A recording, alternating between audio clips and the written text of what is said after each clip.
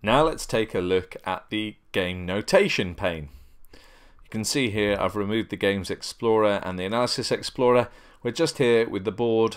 We've got the Opening Explorer and the game notation. Now I picked a game at random. It's uh, Veselin Topalov versus Alexei Shirov uh, from 1996.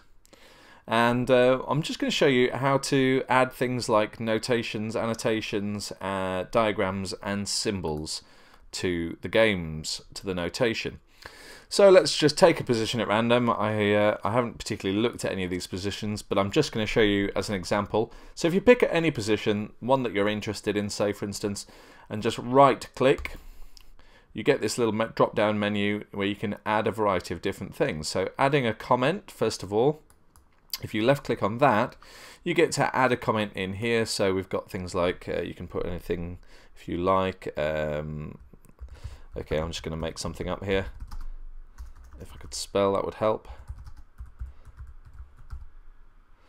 Uh, and a very nice little feature here is, especially if you're planning on printing it out, if you wanted to add a diagram as well as your uh, annotations, you could just click this button here. So I'm going to add it before the comment, add diagram.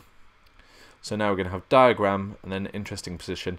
And when I click OK, you'll see the annotations here, the interesting position, and the word diagram. Now it won't print out with just the word. What will happen is when you print it out, uh, the HIARCS Chess Explorer will insert a diagram at that position just before your comment.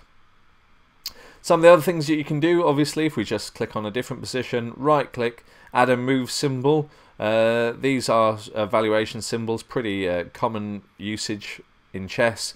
So you have the exclamation mark for good move, question mark for bad move, etc the evaluation symbol, the informant style symbols, so you've got uh, equal position, things like that.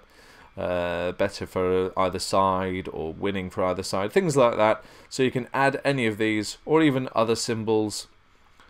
You can see there's a whole host of different options there. So we'll just add one of those, say for instance that, to show that it's a good move. Whether it is or not, I don't know, but I'm just showing you the process. And finally, if we did actually want to print this game off, we'd go to the File menu go to print and we can print two things, the current game or a whole host of games from our Game Explorer window. In this case we'd just be interested in printing the current game, so hit print there. Obviously as long as you've got a printer connected to your computer in some method you'll be able to print that game out and it'll have the annotations that you've done including the diagram in that printed recording. So there you go, that's everything you need to annotate and print games using HIARCS Chess Explorer.